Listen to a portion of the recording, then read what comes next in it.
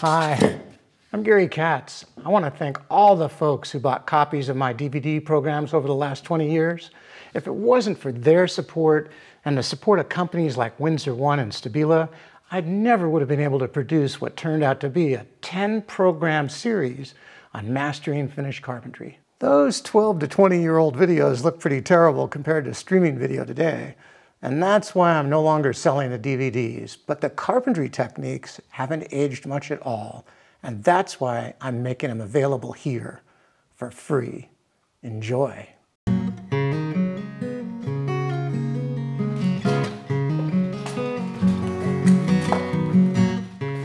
Welcome back to Mastering and Finished Carpentry. And if you're new to this series, you should know that in past programs, we've already covered the fundamentals of trim carpentry mastering the miter saw, installing casing and baseboard, and conquering crown molding. Today, we're back in my shop and studio to work on wainscoting and paneling, and I promise this program's going to be fun. We're going to be moving quickly. There's a lot of material to cover. Many of you may have seen my wainscoting presentations at national trade shows or at the Katz Roadshow, and many of you also have years of experience as carpenters, so some of this may be familiar, but let's cover the basics anyway, just in case. On most jobs, with most crews, there's usually a layout guy. That's usually the fellow running the crew, the guy who does all the door hanging, cornice designs, and wainscoting layouts. I've been that guy for years and I can tell you it's the hardest part of the job and requires real care. Doing layout is like setting up a repetitive stop system on a miter saw then handing it off to one of your carpenters. You better be sure the stops are set right on before the handoff or you'll end up with a lot of wasted molding. I rely on technology to increase quality and productivity on my jobs. To make sure my layouts are spot on, technology helps me move faster too. Sure, buying high-tech tools costs money, but investing in tools is like investing in stocks. You want ones that pay the best dividends, so quality and durability are big issues when selecting tools. I'll have a lot more to say about tools and materials as we move through this program. In the past, I've received letters and notes from viewers who have suggested I say more about the products I'm using. I'll be doing that in this program. So don't get the wrong idea. I'm not trying to sell anyone anything. Yeah, some of the products I'll be talking about are made by companies who sponsor these programs, but the reason they sponsor the programs is because I wanted to use their products, not because they asked me to. I think you might be interested in using some of these tools and materials too. You can use high quality levels, like these, for laying out wainscoting, but it's slow and imprecise and often requires two carpenters. If the room you're working in has a lot of windows and doors and corners, you'll be switching between long and short levels, and by the time you work your way all the way around the room, especially if it's a large room, you could be off by more than an inch in height. Using lasers for laying out wainscoting is precise and fast and can be accomplished by one guy working alone. If you invest in a good laser, believe me, you'll be using it a lot. Lasers have a lot of uses outdoors too, for setting form boards, installing siding and trim, laying out pitch and drainage for a driveway. They're great inside a home for finding the high point of a floor before setting kitchen cabinets. And while you're at it, finding the low point of the ceiling, especially if the crown molding installs right on top of the cabinet doors. Lasers are perfect for finding the high point in a room before setting a series of exterior doors too, especially French doors or windows where all the mutton bars have to line up perfectly level. In fact, in many homes, you have to shoot control lines to ensure that all your jambs and head casings line up on the inside of a home, from windows to doors, both interior and exterior. Nothing's faster or more accurate than high quality lasers.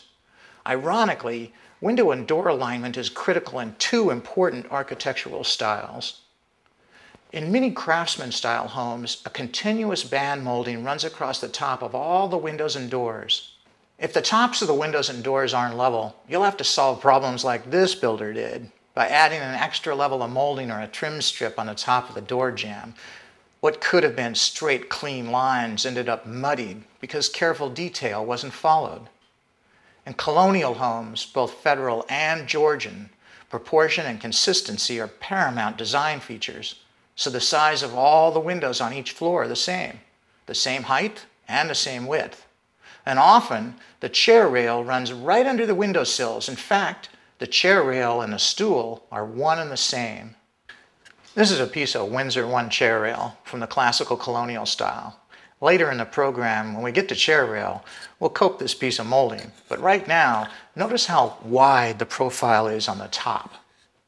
This molding is designed for installation as both chair rail and stool with enough room on top for thick casing. That's another reason to use a laser before you set the windows and doors, but definitely when you're installing wainscoting. For wainscoting, the laser has to be at exactly the right height. I like to shoot my line right here at the bottom of the chair rail, the top of the top rail, because that's the line I'll build to. If that line is right, then the chair rail height is right. I like to use a simple laser, one that shoots a bright horizontal line and plumb dots. That's about everything a finished carpenter needs. Of course, it has to be accurate, within an eighth of an inch over 50 feet. I prefer a laser that has a pendulum lock too.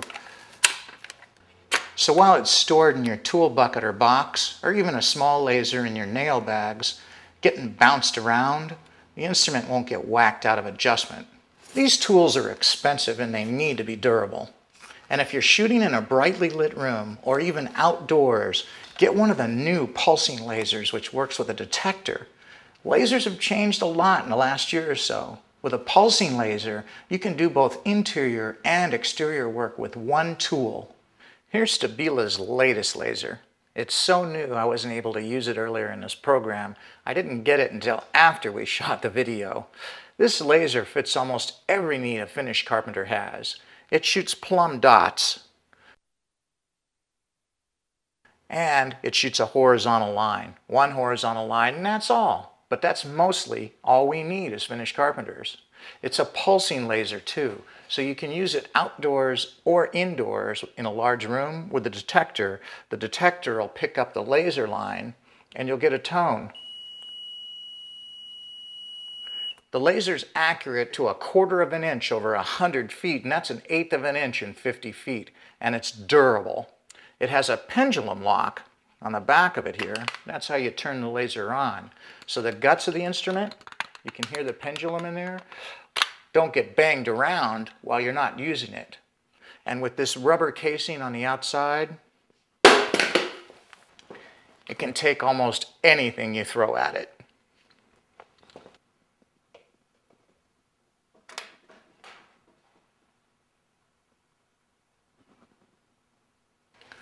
There's several choices for mounting lasers. A laser jamb works great because unlike a tripod, you can slide the laser up and down from a few inches off the floor to a few inches off the ceiling. FastCap's laser jamb runs about $200, but they're built well and have exact scales. They'll last indefinitely if you take good care of them. If you're working under a vaulted ceiling like this one, you can use a bucket mount with a laser jamb, and that way you can place the laser anywhere in the room you want.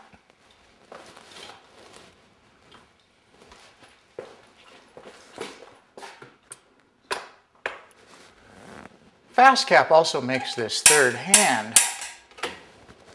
And it's another great mounting tool for a laser. It works just like the laser jamb, and it's easy to set up underneath a door jamb or underneath a soffit like this one. The laser jamb has extensions on it as well, and you can run these things up to 8, 10, 12 foot ceilings if you need to. The third hand also doubles as a temporary plastic wall, you know, like a zip wall.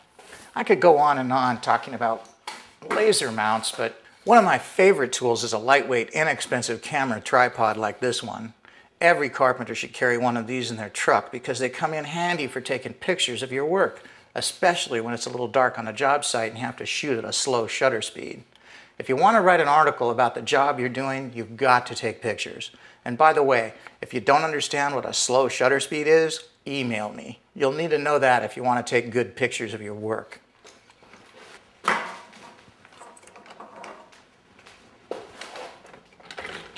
If you're laying out paneling for several rooms, mark all the corners in the first room, as well as a few marks in the second room. Then take the laser, set it up in the second room, and dial in the height to match the line in the previous room. That way you can just keep going. That's the way I shoot control lines through an entire house, because you can't set up the laser in just one location and get the whole house. First I'm going to turn this laser on, and then I'm going to push this button here on the side so I get a nice bright horizontal line. That's all I need here. And I'm going to adjust that line so it's right on the top of the paneling, not the top of the chair, the bottom of the chair, which is at the top of the panel line. So I want to continue this line and mark it all the way around the room. So I'll come over to this corner and I'll put a little like arrow right there. So we know that's the top of the line. And in the inside corner on the other side, we'll do the same thing. And on this outside corner, we'll do exactly the same thing. And around this end as well. And again, in this inside corner, oh, look how, how bad the drywall is. It's cracking in the corner. Well, that's not going to matter because we're going to cover all that with wainscoting. And all the way over at this end of the room, right next to the casing, We'll put a line there too. We have marks at the laser line all the way around the room. And that's how quickly you can lay out a room with a laser. With a level, it would have taken a lot longer, especially around those outside corners on that pop out. Okay, we're through with this. Now let's take a look at another high-tech tool. This little gadget's gonna change the way carpenters work. Believe me, in another few years, every carpenter will be carrying one of these on their tool belt like an iPod. I use this tool when I'm measuring baseboards so I don't have to crawl across the floor. I can set it up in one corner, get the dot right on the opposite corner, or in this case on that plinth block, and then push the button one more time. And it'll give me a distance measurement right here on the tool. And I can check that. Sometimes you want to get two or three readings of the same measurement and you can push the button real fast a couple of times in the same place and you'll get all your measurements stacked up on the same, right underneath each other because the laser distance measuring tool remembers those measurements. I'm going to read in the opposite direction too without having to crawl across the floor. And even if there's a ladder in the way or there's something like there is here, I can pick up a measurement. I'm going to hit the button a couple of times here and get a few measurements on that. It's a 104 perfect. All three of those are 104 exactly right on. So I'm pretty certain I've got a good measurement there. You try and take two or three measurements of every, of every length like that just to make sure that you've got the dot in the right location because if the dot ends up in a little hole sometimes, you'll end up with an imprecise measurement. This tool is great for measuring floor to ceiling panels too, where you have to stretch a tape measure over your head. You don't have to see this display. Just place the tool right on the floor, the surface you want to measure from. Locate the red laser dot on the opposite surface and press the same button a second time. I'll take a couple of measurements here just to be safe so I can average them out. These instruments are really sensitive and they're highly accurate. Stabila's distance lasering, laser measuring device is accurate to within a sixteenth of an inch, and there are very few in the industry that are that accurate. For framers and remodelers, it's a perfect tool. Imagine being able to measure a rafter length without stretching out a tape measure, or measuring plate lengths, or fascia, or soffit trim, or you can probably get the picture. If you can't get the picture, here's a few to look at. Whether you're measuring a gable end stud or a tall wall stud on the ground or in the air, you don't have to worry about stretching a tape measure. Unlike finished carpenters, framers are always working in the air. With a distance laser tool, you don't need two guys for measuring long joists or rafters. Distance measuring tools are great for wainscoting. They help measure the top rail right at the rail line at the top, even on a really long wall rather than measuring down here at the floor, which is where there's usually a lot more drywall buildup in the inside corners. Plus, there's times when I like to get the longest measurement. Sometimes it's at the top, sometimes it's at the bottom. This tool is great for picking up both top and bottom measurements at the same time, which is something I often do at outside corners. You know, we can't really talk about measuring wainscoting without talking about different corner types. And different frame types. So we're going to have to bounce around the subject a little bit here, talk about several different things at once. Years ago, I learned a great trick about measuring wainscoting from Jed Dixon. Jed's a stair builder from Rhode Island. He's a frequent contributor to JLC Live, to JLC Magazine. He does the JLC Live shows, and he taught me to never ever measure wainscoting right on. For frames that go from inside corner to inside corner, always subtract a quarter of an inch from the wall length. That trick by itself will save you hours of head scratching. And with that one lesson from Jed, I developed a whole new way of laying out wainscoting, and here's the system I've been using. It might seem complicated, but really it's pretty simple, based almost entirely on the different types of wall situations we work with. In most homes, there are three primary wall situations, but only two basic rules for measuring them. Rule number one, Two of the most common walls we work on have inside corners on both ends or inside corners on one end and casing or something like that on the other end. For those walls, always subtract a quarter of an inch. That way, you can install your first frame without scribing or fussing around or anything. Just take your frame, put it on your laser line, and nail it in place. If you're installing another inside corner to inside corner piece or an inside corner that butts up against a piece of casing on the next piece, with the first frame in place, the second one's going to be about a half an inch too long because you're making them all a quarter of an inch short. When you put the second piece on, you're going to pick up the three quarters of an inch of the first panel. So the second panel coming out of an inside corner will end up being about, oh, a half an inch too long. Set your scribes for a half an inch and scribe off to the leading edge, the back edge of the second frame. Just like so.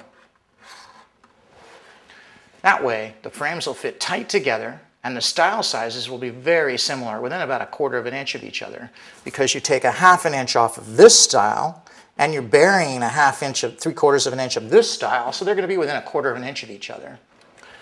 Yeah, some of you may have noticed. If you use the same size stiles for the corners as you use for the field stiles, the two inside corner stiles won't match the field stiles because you're going to lose a half inch to three quarters of an inch off these inside corner stiles because of the overlap. The inside stiles will end up being between three and three and a quarter inches wide, which is pretty darn close, and most folks would never see the difference. But if you're a fastidious carpenter, there's another way you can assemble your frames. Make sure you use three and a half inch stiles for all your outside corners and ends that butt against casing. And then use four inch stiles for all of your inside corners, the ones that overlap each other. I've got a four inch stile on the inside corner of this frame and a four inch stile on the inside corner of this frame, whereas all the other field stiles are three and a half inches.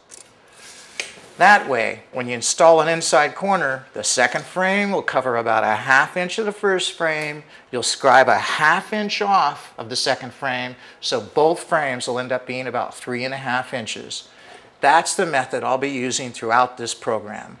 Before we get to rule number two, let's review rule number one, and this time we'll look at a SketchUp drawing. Here's another wall that has casing on one end and an inside corner on the other. For these frames, always subtract a quarter inch and leave the gap on the inside corner. That way the frame can be installed with minimal fitting or cutting, just scribe it to the casing. Rule number one also applies to walls with inside corners on both ends. Always subtract a quarter of an inch. If the frame is installed on top of a previous frame, scribe a half inch off the right-hand stile. However, by subtracting a quarter inch, you can also choose to start installing your frames anywhere in the room. Now let's look at rule number two. The third common type of wall situation in most homes is an inside corner to an outside corner. Just like this wall here, an inside corner to an outside corner. Sure, there are other corners in construction, like outside corner to outside corner walls around pilasters, and angles too, acute angles, obtuse angles. But I've always felt that too many rules just get me into trouble. So I only have two of them and they're just for the three most common types of walls we work with. Remember, simple rules are really cool things if they help you shave time off of a job and prevent silly mistakes, and if you follow them. When you measure an inside corner to an outside corner wall, always add a half an inch. Yeah, it's different than the first rule. The first rule said you subtract a quarter of an inch, for inside corner to inside corner walls. But when you measure an inside corner to an outside corner wall, you add a half an inch. That's probably more than you'll really need to scribe the piece tight to the previous frame, but not a lot more. And you can usually scribe all the extra length right off this inside corner stile, especially if you use inside corner stiles that are half inch wider than your field stiles. The other reason for that extra length is because for an outside corner, you'll want at least three quarters of an inch extra to make up the corner joint. While we're here measuring this outside corner, remember, always measure these frames at the top and the bottom. Let me move this out of the way a little.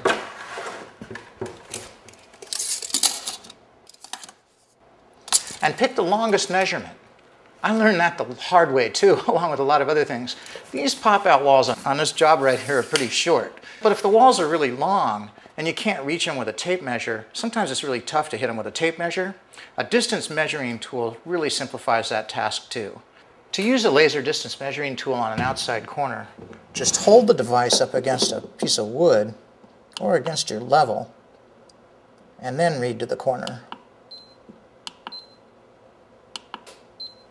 Measuring and making your frames long enough to allow for the extra material you need on an outside corner is a wise move and always allows you the flexibility of fitting every frame to the job on the job. And I'm going to be getting into that a lot more too. It allows you to decide on the job what direction you want to lap your corners. Trust me, cutting nice corner joints on a job site isn't tough to do if you have the right tools. In fact, these lap joints, they're pretty easy to do. But notice how clumsy this one looks with all this end grain showing. That's another example of what not to do on an outside corner. For now, let's just stick with measuring. Let's review rule number two and look at that SketchUp drawing one more time. For walls with outside corners on one end, always add a half an inch. Whether you decide to install those frames first or whether you install them after a previous frame, you'll always have enough material to make up the outside corner.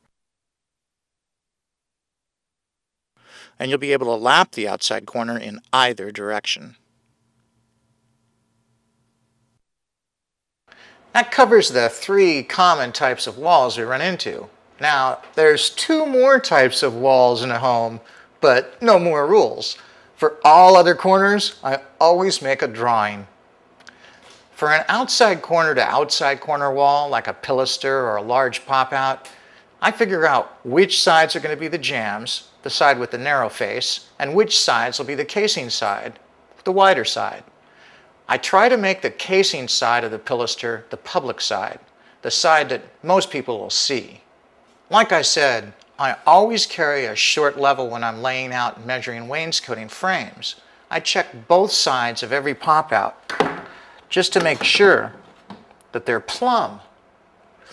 If they're out to lunch, then I add even more wiggle room to the size of the frame. So there's enough room to scribe the frame. You know, whatever it takes to install the frame and make the joints close and the panels fairly plumb. At the same time, you can't fix a home by making everything perfectly plumb and square. If you install your wainscoting panels perfectly plumb on an out-to-lunch wall, then the top of the chair rail is going to show the whole defect. So you'll see a piece of chair rail that tapers to nothing when it comes to the next wall. Try and see the whole picture before committing yourself to anything. I've mentioned angled walls a couple of times. Before we get to outside corner designs, let's make sure we cover this subject really thoroughly. I used to miter my 135 degree inside corners, and those are the ones that we think are like 22 and a halfs or 45s, but they're really 135 degree obtuse angles. I used to miter all of those because I thought it was the right thing to do. But look at this mock-up. Here's one of those corners. I've bevel cut these two pieces. So there's a 135 degree inside corner. Wood moves against the grain. Remember that, not with the grain. These boards are going to move in two directions across the face of both these pieces. So the miter, when it opens, is going to open up twice as much when the wood contracts. Once the wood contracts and the miter opens, boom, it's going to be visible and facing right into the room. I don't miter wide-angled inside corners anymore. I always overlap one frame with the other. You might think a mitered joint reflects more craftsmanship, but it really doesn't because wood movement must be considered whenever you're making wainscoting. But lapping the joint doesn't mean you have to bevel cut both frames. The first frame can be butt cut because the second frame overlaps it. And the finished joint will look just like a miter. The short point will be in exactly the same place as a miter. A bevel joint won't open nearly as much, and if it does, you'd have to be standing right against this wall, this one right here, to see this joint open up. And besides, a lap joint gives you a chance to get some glue and fasteners through both pieces. You can nail right through this piece and get some glue behind there too. And best of all, a lap joint only takes half as long to cut. You know, there are a lot of other issues we need to cover. Since we're on the subject of outside corners, let's talk about corner joinery now. When I started installing wainscoting, I mitered all my outside corners. Seems like the easiest thing to do. Just cut a bevel joint on each piece, miter them up, glue them and nail them together. To trim the panels, I used a shooting stick and a circular saw. I work mostly in northern Arizona and southern California. Humidity changes and moisture content hasn't been something I've had to worry much about at all. But in the last 10 years or so, traveling around the country, meeting other carpenters, seeing job sites in almost every state, and visiting historic homes too, I've learned how wood movement can wreck a carpenter's best efforts and ruin a really good reputation. Miters move a lot, especially on the material we use these days, fresh growth lumber. Visit my website and take a look at the two articles on why miters move. One's on the charts and drawings page, and the other's on the trim techniques page. The point of both these articles is simple. Try to avoid miters on outside corners. Here's a few corner designs that are easy to cut on a job site with a circular saw and a guide rail or a shooting stick, along with a single bit router setup. The most common corner used around the country for wainscoting is a lap joint. This is a nice joint, and it's simple, and it doesn't require a router. It looks good in stain grade or paint grade work. This joint's pretty common on craftsman style homes too. On a craftsman style home, you can emphasize these butt joints. Just ease the back edge on both frames, the back edge of this one and this one, using a laminate trimmer and a 16th inch roundover bit. You can even use a slightly bigger roundover bit and emphasize them a little more. Then when you install the paneling, the joint will pop right out from the wall. That's why it's called an emphasized or emphatic joinery. You see that type of emphasized joinery on a lot of Greene and Greene homes, like the Gamble house. Notice how the finger joints in this knee wall shelf are eased over dramatically. You can see the same joinery outside the house in these planter boxes. Let's look at some other outside corners too, ones that I've drawn using SketchUp. With the right setup, this is an easy joint to cut because both cuts are made with exactly the same router setup. They're the same depth and width. This is my favorite joint actually, and we'll use it in this program a little later. This corner joint is a double lock rabbet and requires two routers, one for the rabbet and one for the dado. With this mechanical joint, the corner can never spread open and the pieces are easy to assemble. Like the first butt joint corner, Allow for the 3 quarter inch edge grain in the full stile by reducing the width of the lap stile so that both stiles have equal exposure. Here's one more corner joint. It's a double rabbet too, but one side's cut much deeper so the overlap is thin. For stain grade work, thin joints like this are easier to hide, but they're not nearly as durable and they take a lot more time to cut. For those two reasons, I've rarely used a joint like this. Here's a single pass rabbeted corner. Only one frame's rabbeted, and the rabbet can be cut pretty deep so that the lap joint is thin and almost invisible. Don't cut the rabbet too deep though. You don't want the lap too delicate. Remember, these joints are going to swell and contract a little, so they may telegraph through the paint some. Personally though, I've never found a straight telegraph line to be nearly as offensive as an open miter. Oh, and since we're on the subject of outside corner joints, there's one other joint we should look at. Beadboard and V-groove paneling is wainscoting too, even if it doesn't have stiles. Mitering beadboard on an outside corner cannot be done reliably in most climates. Instead, try this trick that I learned from an attendee at a JLC Live clinic. This is a great technique. It hides almost all future wood movement. Even if the joint cracks a little, no one will guess what's going on. And it's not too difficult to cut either. We've covered measuring techniques and corner joinery. Now, before we take any final measurements for this room, let's do what carpenters do best, solve a problem. When we install wainscoting, whether it's in a new house or a remodel, one of the biggest problems we encounter is terminating the frames at the door and window casing. Often, the frame thickness is the same as the thickness of the casing, sometimes even more. Imagine this 1x6 is a frame, you know, a, a wainscoting frame. It's almost perfectly flush with the casing, which I don't especially like. Being almost flush makes it harder to scribe, but even if the scribe's tight, the flush joint just doesn't look as good. There should be some kind of separation, an elevation, or a step between the two details. Most carpenters think the traditional method is to remove the wall board all the way to the chair rail. And yes, that works. It works really good. But on a remodel, it's a mess, and it's not always necessary. Instead, let's look at a few other traditional methods, ones that are often overlooked for solving this same problem.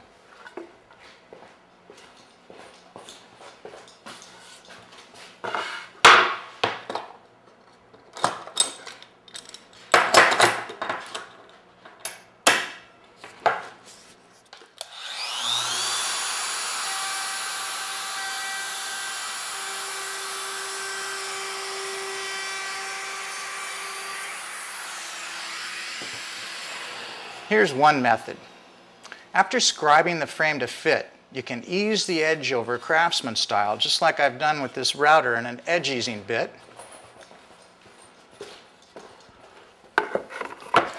And then, even though the joint's tight and they're flush, it looks good. That's because it's an emphasized joint. But we don't always work in craftsman style homes, and emphasized joinery isn't the only solution. So here's another alternative. I picked up this detail from Tom Nego, one of the contributors to the JLC Finished Carpentry Forum. You'll see some more of Tom's work during this program and his brother Charles too. On this style, Tom ran a quirk and bead bit down the edge before installing the frame. I like the way he stopped the bit right below the chair rail location. That little bevel looks really nice. One other thing I want to point out while we're here solving the casing problem, if you don't remove the drywall and install the wainscoting against the bare studs, you're going to have a problem with the baseboard too. Without a plinth block, the baseboard will be proud of the casing for sure, and self-returning the baseboard to the bottom of the frame at every door opening looks clumsy.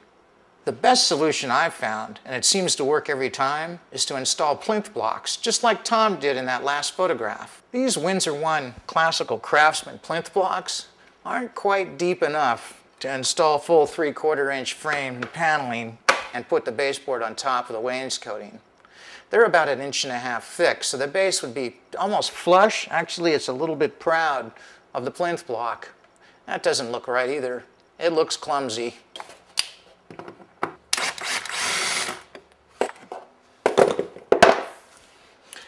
It's easy to make thicker blocks too.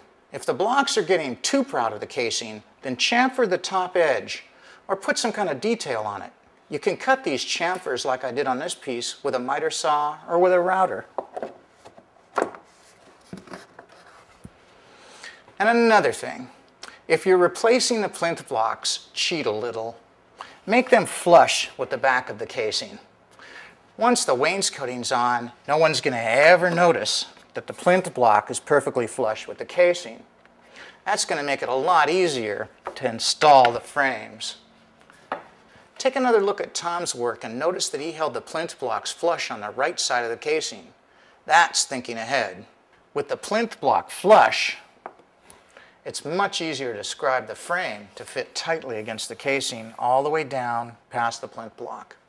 I think Tom's idea of running a bead down the frame is a good one, but there's one more alternative design I want to show you, and it solves both the casing and the baseboard problem. In fact, let's look one more time at Tom's photograph. Notice there's not enough room for the thickness of baseboard on the right side of the casing. Sure, Tom didn't install base and it looks just fine with shoe molding, but even the shoe molding is almost flush with the plinth. There's no reason why we can't make these plinth blocks even thicker. Look at some of these examples. At the Nightingale Brown House in Providence, Rhode Island, the Colonial Revival doorways are trimmed with crossette architrave casing. Those are the little ears or jogs on each side of the door head. The casing is completed by a heavy oval backband carved with a repeating acanthus ellipse. The backband and the baseboard terminates onto the back of the plinth blocks, which are almost two inches thick. To mask that extreme depth, the carpenters chamfered the face of the block so that the back edge remains thick enough to provide a step down to the baseboard elevation, yet the front edge isn't so massive. In the same home, but dating from probably the original Georgian design, the casing terminates against a horizontal plinth block, which is shorter than the height of the baseboard. In this case, the depth of the backband provides a proper termination for the torus or base cap molding. Here's another example from the same home, but in stain grade with a Rococo curve. The rope molding on top of the baseboard terminates against the back of the backband. In this example, from the Huntington Library in Los Angeles, the plinth block and baseboard are flush in both directions. The backband isn't thick enough to accommodate the heavy torus molding, so the carpenters self-return the torus. I think it's good for us to see how carpenters have used some of the same creative solutions we use to solve problems.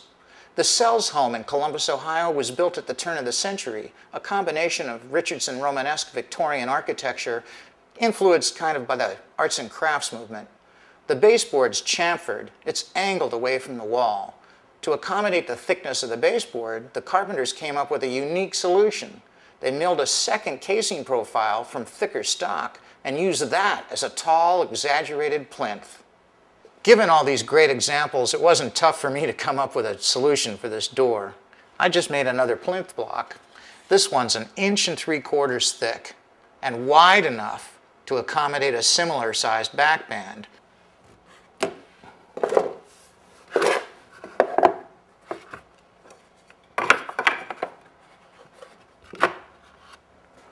I think I'll put a shim underneath here just to hold it still and get it up tight. That'll hold it. And keep a tight, straight line right here using this board as a straight edge. And I can screw this plinth right into the wall.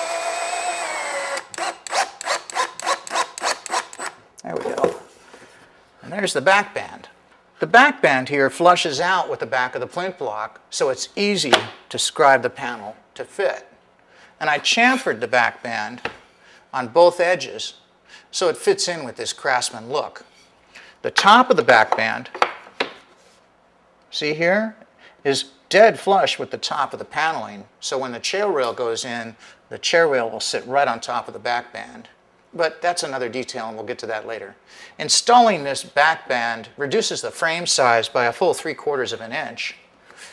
but with this back band design detail solved, we're ready to take final measurements.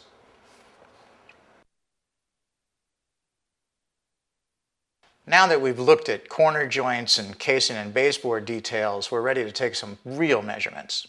Let's start on this same wall with the window and move to our left through the room.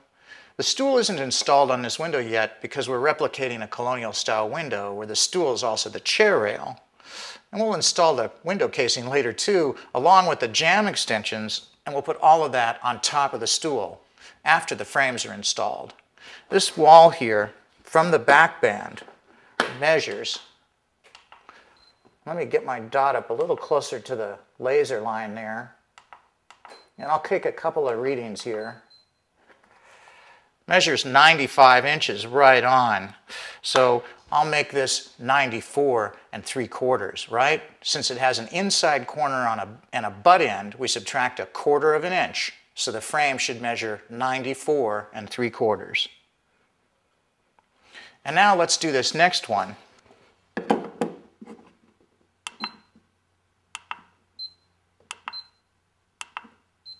I, read that one twice. It measures 10 and 7 eighths both times. It has an inside corner on one end and an outside corner on the other. So that's rule number two. I have to add a half an inch. So the frame size on this one will be 11 and 3 eighths. I'll put that down here too.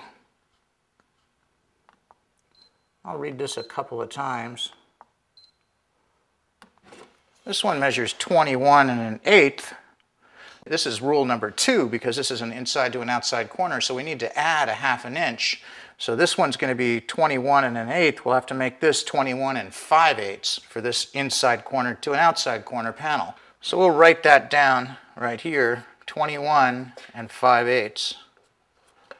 There we go. So we got three of the walls. We got one more left to do.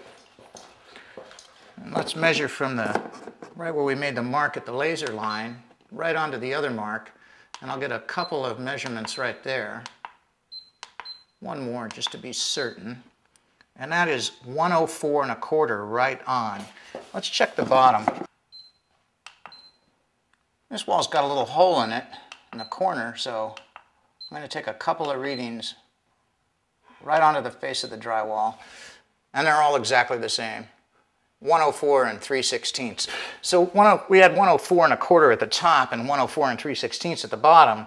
So I'm going to just make this panel figure it's 104 and a quarter. That's a little bit longer. It'll give us a little extra wiggle room, which is a good thing. So we got to subtract a quarter of an inch, but I also want to subtract three quarters of an inch from that measurement so I can install a back band against this casing.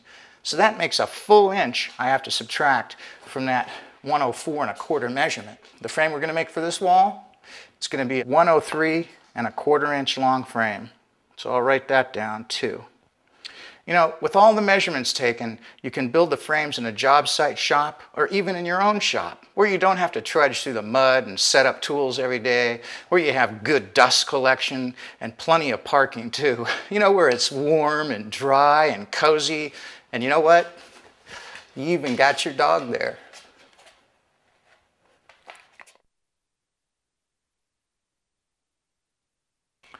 Like I said, we'll get into more advanced issues later, like architectural styles, tall and wide panels, multiple panels, and stuff like that. But right now, let's cover simple frame and panel style layout. I mean, how to do the math. I rely on technology for that too. First, I want to explain how I used to do this. I used to look at a wall and guess what size the panels might look best. Say I wanted 10 inch panels. I'd measure the wall, figure roughly how many panels would fit and how many stiles there'd be. I always had to make a drawing first too. You know what I mean? In order to count how many panels and how many stiles. I'm sure some of you do the same thing. Not a fancy drawing, just something simple, you know, like, like this. You take a drawing and we want to put in one, two, three, four, five, six, seven, so there's one, two, three, four, five, six panels, and we'll put one more panel in. There's seven panels. See, it's easy. Now I can count the number of stiles in a second. There's one, two, three, four, five, six, seven, eight stiles. I've always had to make a drawing to figure that out. The next step I've always made is figuring out the size of the panels. I mean, you may want them to be about 10 inches, but that has to change a little according to the length of the wall, right? I mean, first you have to add up the stiles and subtract the number of the sum of the stiles from the length of the wall. Well, with this drawing, it's easy. You know there's eight stiles. Let's say the stiles are three inches wide, so eight times three equals 24. If we're working with a wall that's exactly eight feet, you subtract 24 inches from 96 and you get 72 inches. Even the most math mathematically challenged carpenter, and I'm talking about me, knows that if you're trying to use 10 inch panels, you only get seven of them into a 72 inch space. So you divide 72 by seven and you get something like 10 and 2 sevenths, right? I mean, if it's me, I'd just say sevenths are pretty close to eighths and 2 eighths is like a quarter. So I'd get out my tape measure. I mean, it's all guessing at this point anyway, right? You won't find out the exact panel size until you lay out the stiles and the panels on the wall. We all know that. Here, I'll show you what I mean. We'll use this piece of 1 by 6 It's exactly 8 feet long, and we'll pretend this is an 8-foot wall. Some of you have attended road shows, have already seen this, so just play along for a minute, please. Here's what I used to do, and I bet a lot of you use the same technique. First, mark a stile with your tape measure. So we come across here, the stiles are three inches, you mark a stile. And then measure across for a panel. In this case, they're about 10 and a quarter. So I'd take my tape measure, make a mark at 10 and a quarter, and then move my tape measure over and mark for another stile, three inches, and then another panel. I mean, how many of you do this? 10 and a quarter. And keep working my way across the, right across the wall. By the time you get to the end of the wall, especially if it's a long wall, you realize you're off by a couple of inches, but that's no big deal because you expected that. I mean, you knew it was going to happen.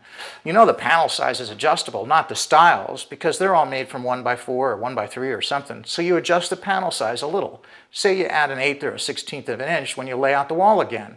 Since the marks are so close together, look, the stile is going to be the same, three inches, but the panel instead of being 10 and a quarter, it's going to be 10 and an eighth. So this second panel, you put a little circle around it. Then you measure from that one, three inches. And now you got to start putting circles around everything. So you measure over another 10 and an eighth. And we put a circle around that. And we work our way across the wall. And another three inches. Put a circle there. And another 10 and an eighth. Just takes some time, you can see. Oops, that's 10, so that was a mistake. It's really easy to make a mistake doing this too. So we'll circle the right one. Anyway, I think you get the drift. By the time you get to the end of the wall, you're off by an inch or so. That's no big deal. You expected that to happen. You adjust the size of the panels again. You start over, and this time you draw a square around your mark. So instead of 10 and an eighth, you go 10 and a 16th. And things are getting kind of tight, but you can still get your little square in there. And this time we're going to come across 3 inches again. So we're right here. We'll put a little square around that one. And then we'll go 10 and a 16th. So we're just a little bit shy. And we're working our way across the wall. And you can imagine how long it takes to do a whole room like this. I mean, you put a lot of time into it. And by the time you get to the end of the wall, especially if it's a big room, you'd be off again. You could be off by another half an inch or three quarters of an inch. So what do you do? You come back to the beginning again, and this time you draw a little triangle around your marks. And you mark across the wall and you put a little triangle around them. And finally, if you're like me, and you want your panels right on, you take out a can of Kilz, you spray the whole thing out white, and you start over from scratch. Listen, I don't waste that kind of time anymore. Like I said, I use a high-tech tool for doing all the math, and it's called a calculator. First of all, let's eliminate one problem right from the top.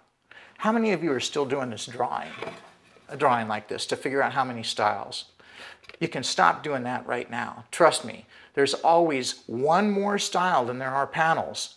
Always. Look, you always start with a stile, then a panel, then a stile, then a panel, and so on. And when you get to the end, you always have to have one more stile to finish the last panel. Yeah, I like to call that one the extra stile. There's always going to be one extra stile at the end or at the beginning, depending upon where you're counting from. And that's a rule you can count on because there's only one exception.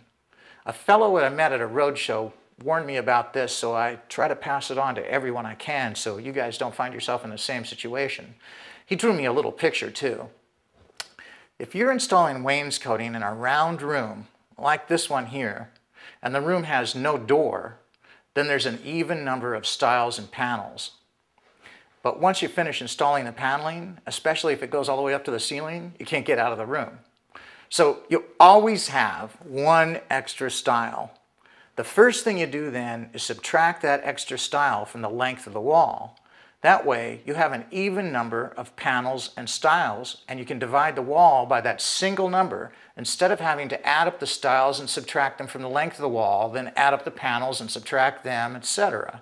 Like I said, I use a calculator, one with memory, one that has rise, run, and pitch functions. Here's how I use a calculator for laying out wainscoting. So you get a perfect layout the first time, a layout so close, all the moldings can be cut with repetitive stops on your miter saw.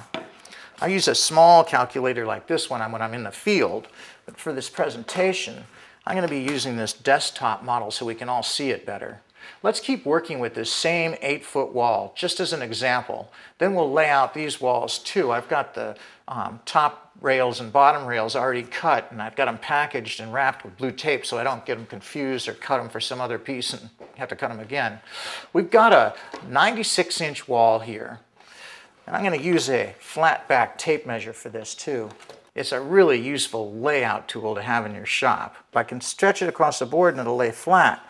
Whereas a regular tape measure when you stretch it, it curls. You can't get your pencil right to the board without having to flatten out the tape measure. And with a flat back tape, you don't have to worry about the curl on the tape measure. It lays flat right on the board. You'll see me using this throughout the layout process. Okay, if the stiles are three inches wide, the first thing we want to do is run down to this end here and subtract three inches right off the end. It's 96 inches, so we'll put our mark here at 93. So I've got a mark right here at 93. This would be our last stile from here to here, and I'll put a nice size mark there. So there's our last stile. Now, by adding the stile width to the desired panel width, and let's say we're using 10-inch panels, we can work with a single unit number. So if we've got 3-inch stiles and the panels are exactly 10 inches, then we'd have a 13-inch unit number. Of course, the panels are never going to end up exactly what you want them, but that's, that's where the wiggle room comes in. But you got to start somewhere. So we're going to do this math several times. So I like to enter the wall dimension into the memory. So the first thing I'm going to do with the calculator is we'll turn it on, and we've got 93 inches. So I'll punch in 93 inches, and I'm going to put that into the memory by punching the memory plus button. Then I'm going to hit the divide key, and then I'm going to enter 13 for the unit number, and I'll press the equals button. 7 and an eighth. See that? Well, you can't have 7 and an eighth units. The number of panels and stiles has to be even. But like I said, this is just the first step. Now we know we'll be using 7 panels and stiles. I mean, it's an uneven number, 7 and an eighth. We could round it up to, we could round it down to 7 or we could round it up to 8, but you know, seven is the closest. So instead of using eight panels, we use seven panels. That's the closest we can get to this. So let's clear the calculator. So we'll just push the clear button once. But we still have that little memory showing, that little M showing in the, in the um, viewer here. So we know that the wall dimension is still in memory. So to get the wall dimension back, all I have to do is press recall once and memory plus, and it'll bring that dimension right back up into the calculator. And this time we're going to divide by 7. So I'll press the division key and press the number 7 and press enter. 13 and 5 sixteenths. That's the quotient, or the result. Now let's talk about this number for a second. Watch what happens when I divide 93 by 7 without pushing the inch button. So I'm going to clear the calculator. I'm going to press 93 and divide by 7, and I get 13.28571. Huh, that's the beauty of this calculator. When you press the inch button, you're telling the calculator to round off to the nearest sixteenth of an inch, but it's really using this decimal fraction. I'll show you what I mean. We'll hit Control. Let me clear everything. We'll hit Recall and Memory Plus and bring the 93 inches back, and we'll divide by 7, and press the equals button and we'll get 13 and 5 sixteenths. That number isn't exact. In fact, if you cut a stick of wood that's 13 and 5 sixteenths long and try to use it as a gauge block and stepped off the wall, I mean, stepped it off with that gauge block, by the time you got to the corner, you could be off by an inch. That's uh, called cumulative error. Have you ever had that problem when you're doing stairs? Like when you take a, a, framing square and you step off a stringer and you're running up the stringer and all of a sudden you get to the top and you're off by a half an inch? That's cumulative error. The calculator will solve your problems without cumulative error. It rounds off that crazy decimal fraction to the nearest sixteenth of an inch. So you can't use a gauge block. You have to step off each site location, each stile location, using the calculator.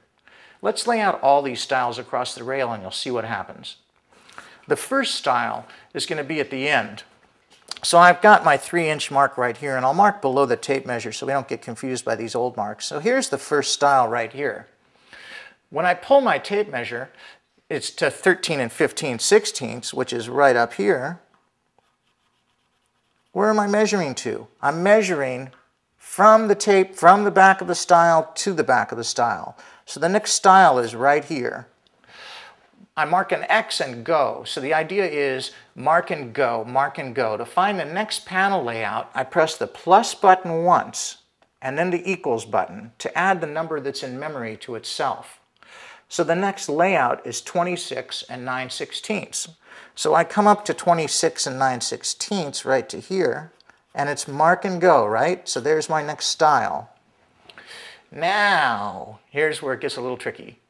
To find the next layout line, I won't press the plus button again. I only do that the first time. If I did that now, I'd be telling the calculator to add 26 and 9 sixteenths to itself, and I'd lose the decimal fraction, that 13.28571 that's automatically in the memory.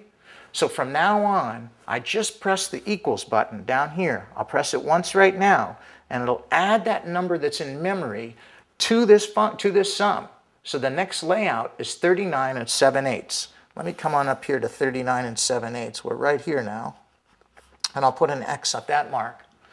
Hey, look, we're back into eighths. Did you notice that?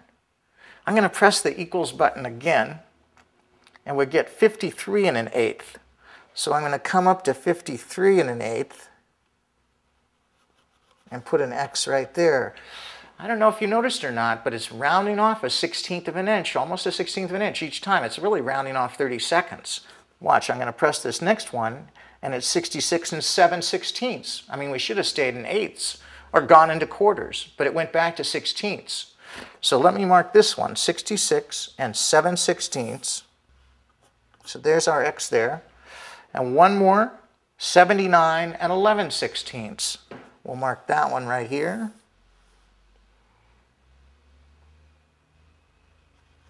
And I'll push the equals button one last time. 93 inches, right on the nose. Hey, if a calculator doesn't earn its keep for you, I don't know what will. This thing's right on the button every single time, right at the back of the last stile.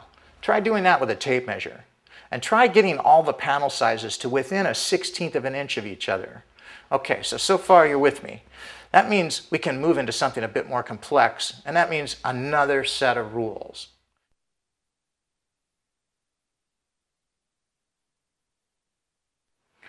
So far, we've been laying out all the stiles as if they're all the same size, three and a half inches, and that's okay. I've installed a lot of wainscoting without compensating for overlapping stiles on inside corners, and those jobs look just fine. Some carpenters believe that any time you put two stiles together for an inside corner or an outside corner, the added width of the combined pieces makes it difficult to see the difference between the corner stiles and the field stiles but a sharp eye can see the difference. If you're working in a high-end home, or if you're just a carpenter that likes to be more precise, here's a really simple system you can use that will keep all the stiles pretty much the same size.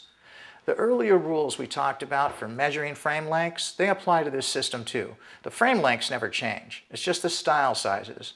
For this method, you just change the width of your inside corner stiles.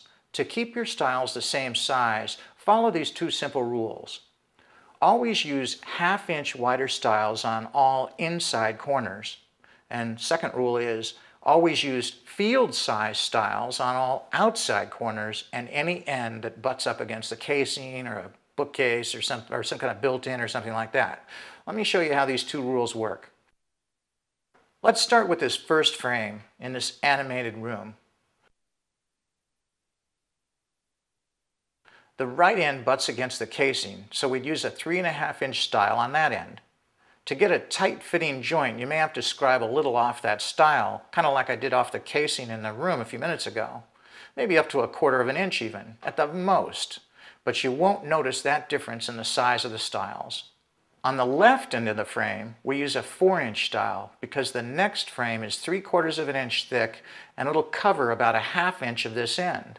A little less if you scribe an eighth to a quarter off the casing end.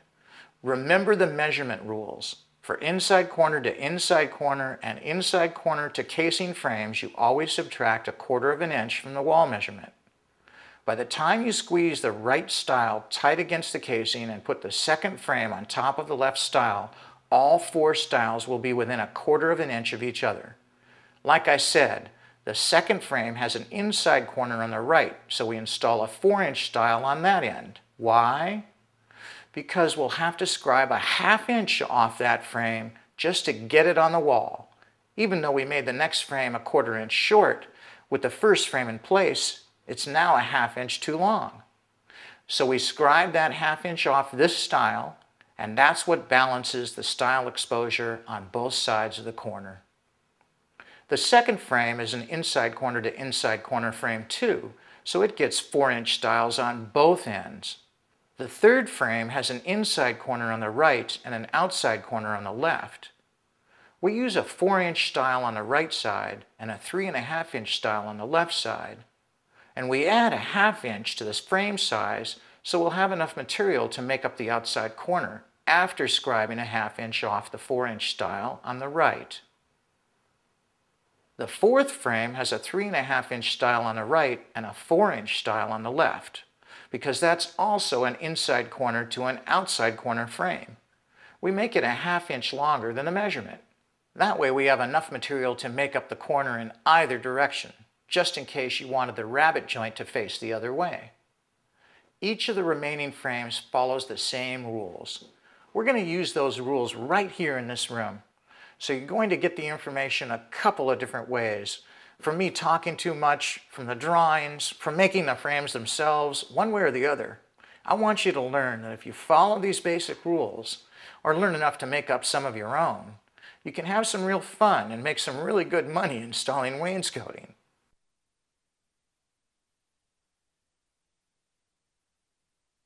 Now let's do some real layout.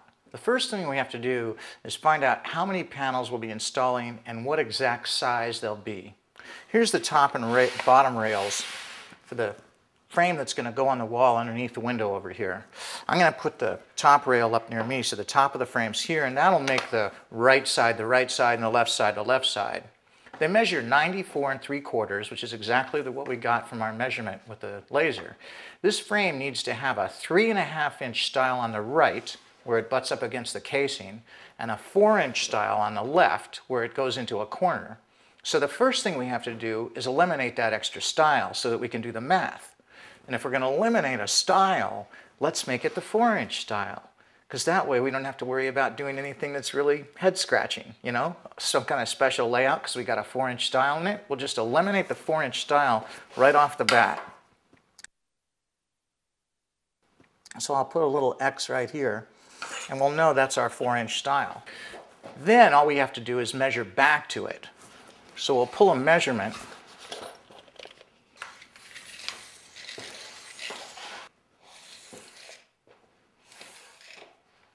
Great, we got 90 and 3 quarters right on. So I'm going to write that on the back of the rail here. We'll put 90 and 3 quarters right there. Now, if I take the calculator and I enter 90 and 3 quarters, I enter that sum into the calculator. That's 90 inches and 3 quarters. And I'm going to press the memory plus button so it's entered into memory. And that way we can play with that number and figure out exactly the panel size we want. If the stiles are three and a half inches wide and we want a panel that's roughly 12 inches wide, we're working with a 15 and a half inch unit. One stile and one panel together equals 15 and a half inches. So all we have to do is divide this 90 and 3 quarters by 15 and a half. All I have to do is press the divide button and enter 15 inches and 1 half and press the equals button and we got 5.854839 something whatever. Well, you can't have an uneven number of units. It has to be an even number. The first calculation, like I said earlier, is always, it's always necessary so you can figure out exact number of units. This is pretty close to 6, so let's just start by rounding up to 6. All we have to do is enter the wall length again. I have that number in memory, so all I have to do is press the clear button a couple of times, then press recall memory plus, and that'll bring up the wall length again, and divide that number by 6. So I'll press the divide button and hit the 6 key, and press equals, and we get 15 and an eighth. Listen, don't expect to get this the first time. Like I said, we're going to run through these calculations several times. Some of you are going to be pretty bored, but I want to make sure that everybody understands this. Trust me, by the time I'm finished here, everybody will.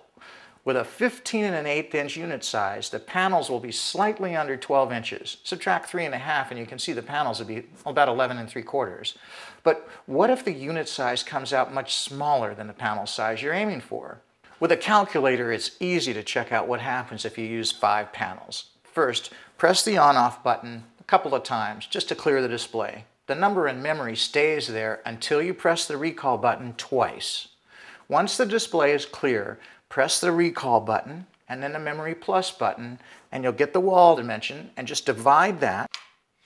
So we'll press the divide key by 5 and press the equals button and we got 18 and an eighth. The unit size would be 18 and an eighth, so the panel size would be close to 15 inches, much bigger than we wanted.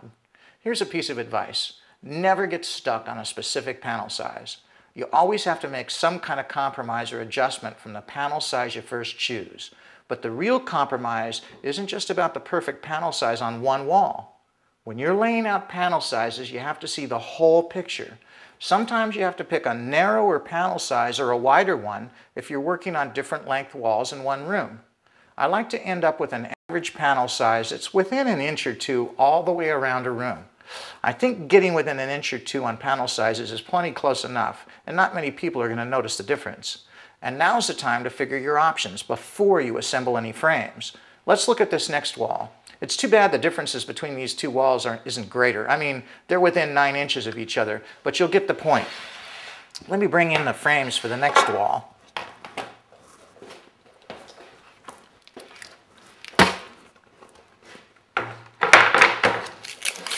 There we go.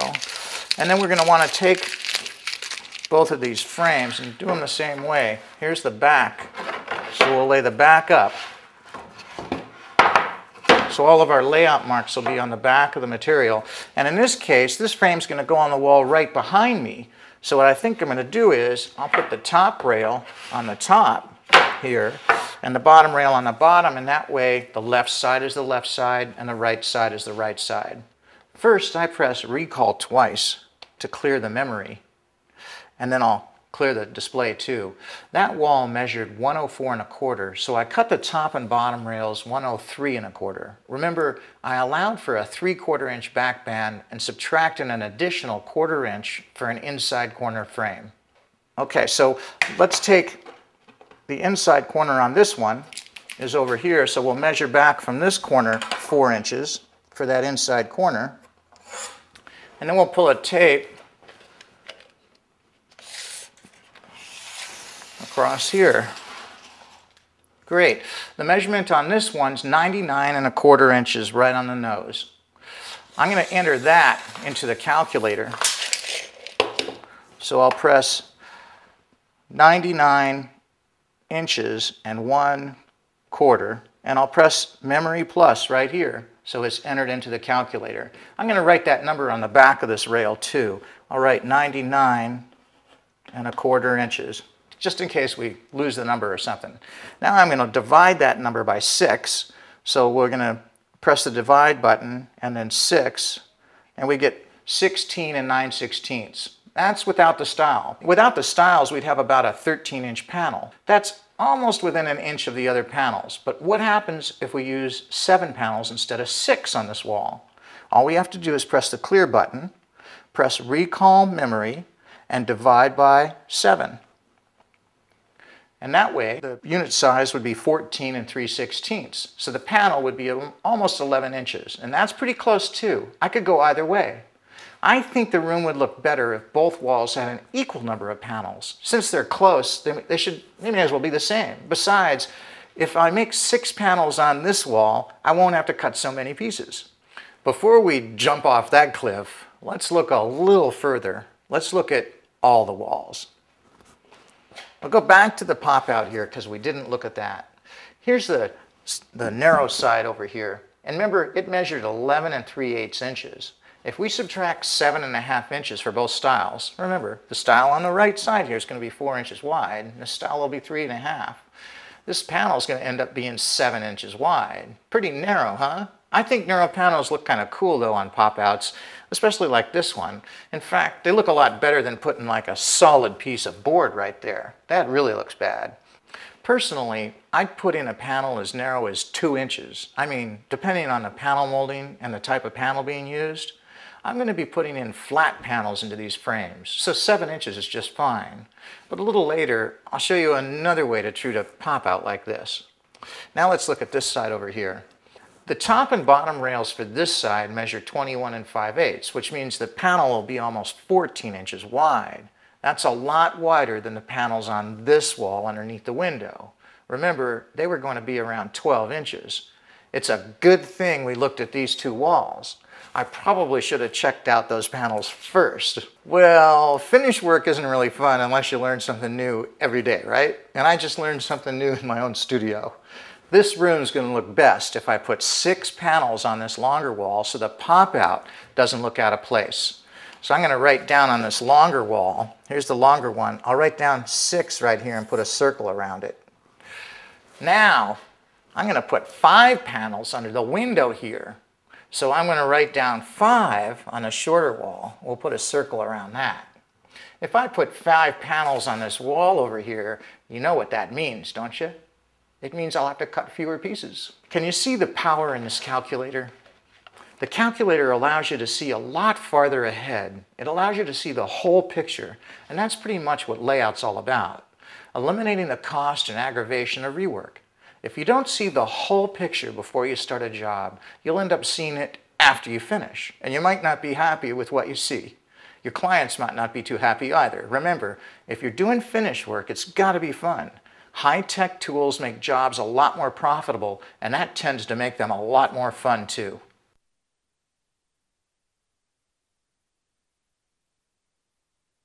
Okay, let's lay out the exact stiles on these rails now. I made the top rail from 1x4 and the bottom rail from 1x6 so there's enough room for baseboard to go on top of the bottom rail. In fact, you can make the stiles even shorter if your base is really tall and bring the bottom rail up off the floor, then just fill in behind it, underneath it, you know, behind where the base goes, with whatever you backing you need. The backing can be anything, even MDF, which is a lot less expensive than using, say, really nice clean Windsor 1 1 by for a bottom rail. So we got the rails, we got the rails down here. We'll measure across. And this layout here is 90 and 3 quarter inches. Remember, we've already taken all these measurements. So I'm going to enter the 90 inches and 3 quarters, and I'm going to divide that, in this case, by 5. That's the number we wrote down here on the rail. And we get 18 and an eighth. So that's our first layout mark. So I'll come across here to 18 and an eighth, and I'll make a little mark with an X. Now the next one, remember, I want to press the plus button and then the equals button, and we're going to get 36 and 5 sixteenths. So I'll come up to 36 and 5 sixteenths and I'll make a mark right there. And we'll put an X right there too. Now we're going to come up and we're just going to press the equals button. Not the plus button, just the equals button. We'll get 54 and 7 sixteenths. So I'm going to make that mark right here now. 54 and 7 sixteenths. We want to press the equals button one more time there. 72 and 5 eighths. So we'll come up here to 72 and 5 eighths. It's right where I wrote the number 5, but we've got enough room to put it in here, right there. And one more time, I'll press the equals button, 90 and 3 quarters. So we're right at the end, exactly at the back of the last stile. Perfect. And that finishes the layout. Almost. There's one other thing I want to do. I want to flush these ends up. And this is just like framing a wall. I want to transfer these lines now straight across from the top rail to the bottom rail and get some good X's on here too. So I'm going to have really visible lines on here and I'm going to know exactly which side of the line every stile goes on. We'll do this one too. And right on across to the end. And this one I've got to measure over three and a half because we got a three and a half inch stile on this end. And that's it. Now we're ready to lay out the next set. So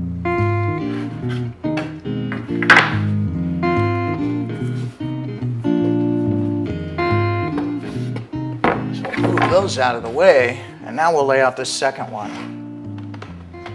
Remember, on this set, we subtracted for a 3 quarter inch back band too, so the length of the rail minus the last stile is 99 and a quarter inches. And we wrote the number right here.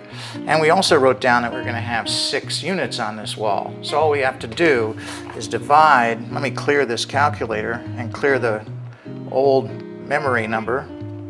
All we have to do is enter 99 and a quarter, 99 inches and one slash quarter, and divide that by six, and we'll get our first measurement line. It's 16 and 9 sixteenths.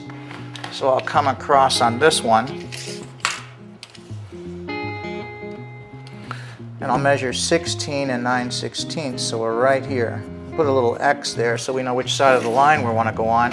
And I'll push the plus button once and the equals button once and we'll get 33 and a 16th. So that's going to put us right here with an X on the far side of the line. And now we just push the equals button. We have 49 and 5 eighths with an X on the left side of it. And the equals button again, 66 and 3 sixteenths 66 and 3 sixteenths. And once more, 82 and 11 sixteenths. And the last time, 99. Excellent, and a quarter. We're perfect. So this one's ready now too. I'm going to transfer these lines. Make sure these are flush and transfer these lines across and make sure we have good X's on those as well. Otherwise, trust me, I will put a stile on the wrong side of the measurement line every single time. At least once per frame.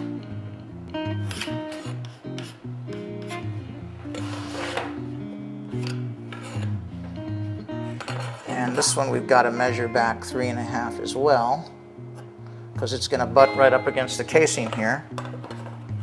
So we'll draw our line and we'll put our X on both sides of that too. And that's the end of it. We're ready to assemble these things. The only type of frame that we're missing in this room is an inside corner to inside corner wall. Laying out those frames is a little bit trickier, so I'd really be remiss if I didn't include one in this program. Let's look at this piece again, this piece of 1x6 that's 8 feet long. Let's say we have an 8 foot wall with inside corners on both ends. That means we have to put a 4 inch stile on both ends. Now how do you do the math for that?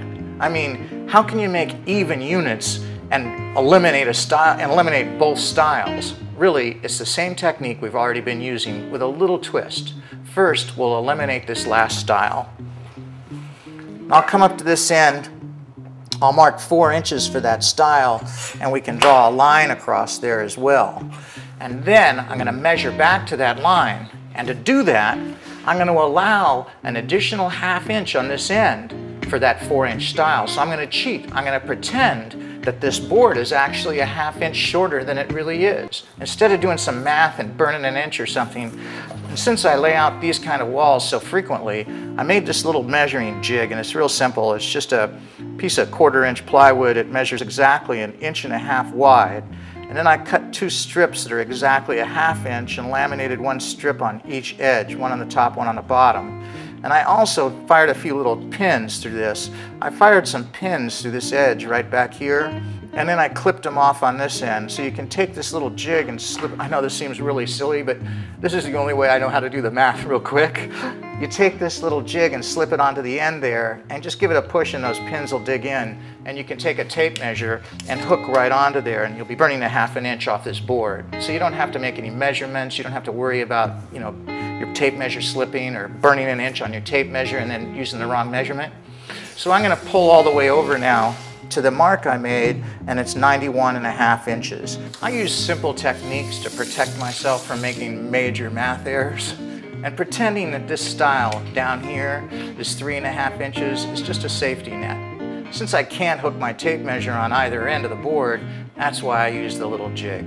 It's easier and a lot more accurate than driving in a finish nail, and it's definitely a lot more accurate, like I said, than burning an inch between off your tape measure. Before we walk away from this rail, I want to make sure that you all realize that this flat back tape measure should really win a prize. I've fought with stiff tape measures enough, you know, try doing some of the stuff we've been doing with a stiff tape measure, and every time you tip the tape, you know, to get it close to the wood, the hook will slip off. For laying out anything in your shop, this tape really sings. You can put marks right on it too. You can use it as a story pole and put a mark right on it, and then later on you can erase the mark right off the tape. Like I said, I'm not trying to sell you stuff on this program. I'm only trying to show you some of the new tools that are out there. And hey, this isn't the only tape measure I use. I use both of them, just like I use a tape measure and a laser distance measuring tool. Different tools for different techniques for different times. So hey, check this out. So the number we want to work with is 91 and a half inches. We'll put that number into memory. 91 inches and one half. And we'll divide that number by 6. Divided by 6 equals 15 and a quarter. That's the second mark. So the first one's at 15 and a quarter. And the second one, we're going to do plus equals. The second one's at 30 and a half. And then we'll do equals for the rest of them, 45 and 3 quarters and equals again 61 and again 76 and a quarter and then the last one 91 and a half so these stiles and this layout this panel layout here will be just perfect even with the four inch stiles we'll end up with 11 and 3 quarter inch clear panels in each opening if you want to check you can go back to the first one and you can lay these out just by pulling your four inch mark and measuring across to the panel. And it's 11 and 3 quarters. And remember, this is now a three and a half inch stile. We'll measure to the next panel and it's dead on 11 and 3 quarters. Now let's get out of this math class and do some carpentry.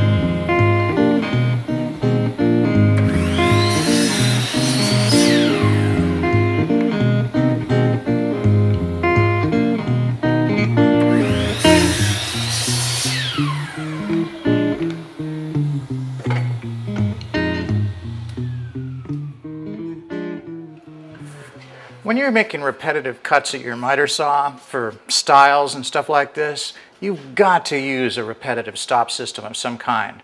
That's one of the reasons I really feel that when you're using a miter saw, you need to use continuous extension wings.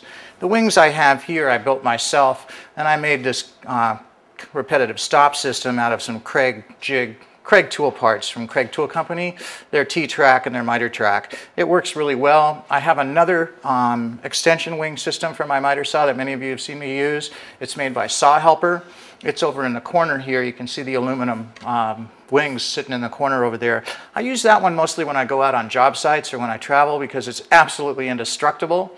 And if other people use it, I don't have to worry about them hurting it. This one I spent a lot of time making here in my shop and I don't want it to get damaged, so I pretty much keep it at home. There's a couple other things I want to talk about here.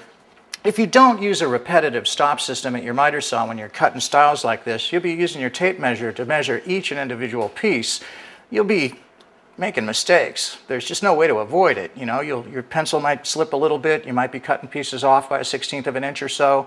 You'll be just testing your patience. When you're making stiles for wainscoting and the chair rails all at the same height, you have to use a repetitive stop so that all the molding pieces that you cut down the line, all the panel molding that goes inside the panels is exactly the same size too. So it's really, really important to set up a system like this. And you know, once you set these up, you can hand this off to one of your guys and have them cut 100 or 200 stiles for you while you're laying something else out. And while I'm here, take a look at this. This is something new. This is from FastCap 2. And like I said, they're a, a, very innovative company, if I haven't said it already. This is a brand new hood that they've just come up with for sliding compound miter saws. You can see that my saw clears no matter which way I swing it in here. Now this isn't vacuum activated. I've still got a vacuum hose for my dust collection system right on the back of the miter saw. But you can tell how much dust these vacuum hoses pick up. I mean, most sliding compound miter saws, the vacuum hose in the system just is not efficient at all. They're just not effective.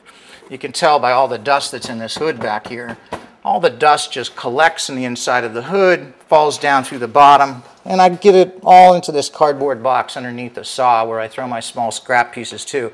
So it's a really handy little thing to have. If you want to take it to a job site, you just disconnect it from the holes in the back of your miter saw. The whole thing collapses real quick. You just drop one of these up, one of them down, one of them up, and you can fold this up in a second and take it out to a job site or something. I, I can't say enough about these, especially when you're working on a job site. If you've ever had pieces fly out the back of your saw and come close to hitting somebody else in the eye, this is a great way to protect some of the other people working on your job. And in a shop environment, there's no dust collecting now on any of my other stuff that's right by my saw, which is a first for me. I've had nothing but trouble with dust in my workshops and I'm really glad to finally be getting some control over it. So now that we got all of these pieces cut, let's cut some pocket holes in these. Pocket screws, especially portable pocket screw jigs, have revolutionized wainscoting and made it much less expensive to install. You no longer have to glue up frames and secure them with long bar clamps, then wait for the glue to dry. And you don't have to use biscuits or splines, except in some situations, which we'll get to later. This is a Kreg pocket hole jig. It costs about 150 bucks. Take my advice. If you don't own one of these already, just go out and buy one right now. You can use one of these for so many things, not just face frames. I use pocket screws to assemble nosings on mantel shelves like this one. So I could fasten the shelf nosing with pocket screws, I designed this mantel with two top shelves. The first shelf is secured directly to the tops of the pilasters from above.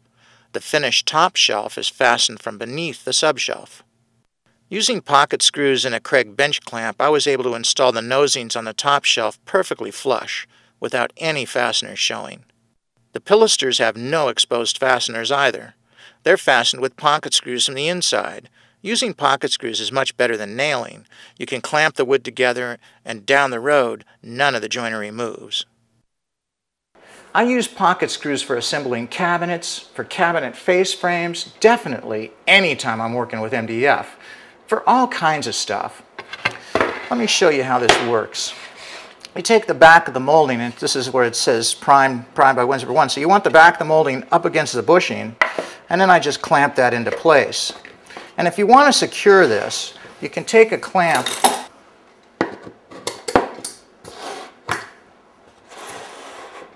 This is Festool's quick clamp.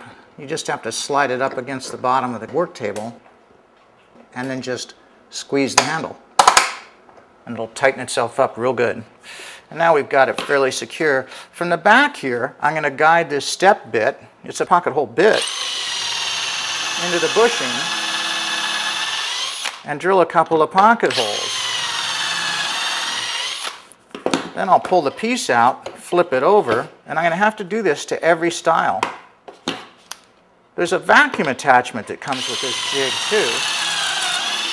So you can hook up a dust collector to this and pick up all of the dust right off the back of it. Like you can see, these are the pocket holes that you're going to drill.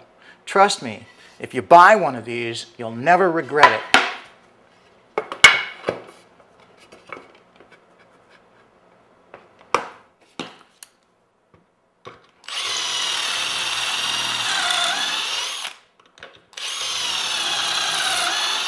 Actually three bushings in this jig right here. There's two that are real close together here. And you can use these two right here if you're using like a two inch stile, or like I am with this three and a half stile here, I'm using these two outer holes.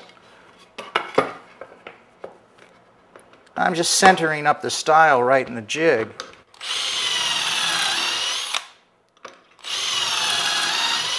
And drilling the holes. This does take a little bit of time. You know, once you do a lot of wainscoting and you drill enough of these pocket holes, you're going to probably want to get something else. You're going to want to get one of these. Once you've drilled 50 or 60,000 pocket holes with a Kreg pocket hole jig, the manual one, you can graduate to the Kreg Foreman and really speed up production. All you have to do with this tool is slide your board in with the prime side down, slide it up against a stop,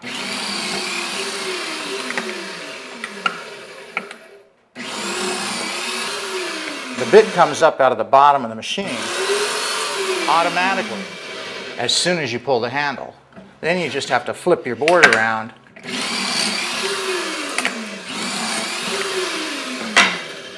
and I can drill through these very quickly.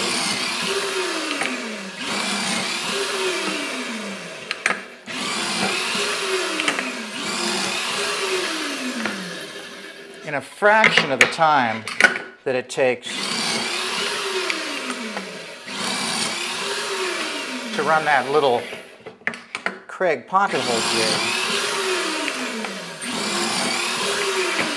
and get perfectly clean pocket holes every time. This tool is definitely worth investing in if you're doing high-end finish work or if you're doing just a lot of mantelpieces and cabinets and wainscoting. Kreg also makes a tool that's just like this, but it's air-powered. But for most finish carpenters, it's too big to drag around to the job site.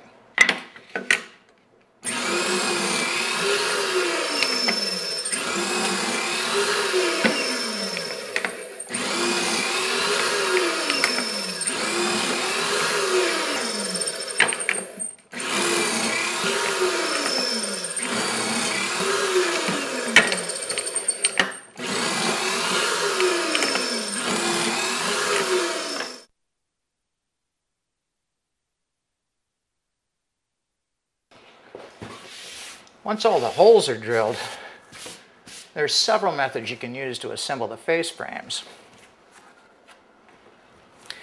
If you're working on a small frame, a Kreg clamp is definitely the way to go. These are pretty useful. I've seen carpenters assemble frames right on the floor with these, right next to the wall where they're installed, where the frames are installed, and all they use is one of these plates. I mounted mine to a piece of plywood so it's easier to grab it. I rabbeted that plywood a little bit so when it's on the floor it's easier to pick it up. I found I could barely get this thing off the floor unless I had the Kreg clamp in it and then you can pick it up easily. Pick up a copy of Kreg Tool Company's Pocket Hole DVD and you'll see Gary Striegler using the same technique, that exact technique, to insert to uh, install wainscoting on walls, assembling the wainscoting right on the floor. I think I must be a lot older than Gary Either that or I'm just too tired to bend over and work on the ground all the time. My knees hurt too much. The floor stuff really kills me. And this steel plate, it gets heavy. Kreg also has a smaller plate, one that you can mount into a piece of plywood if you want, like I've done right here.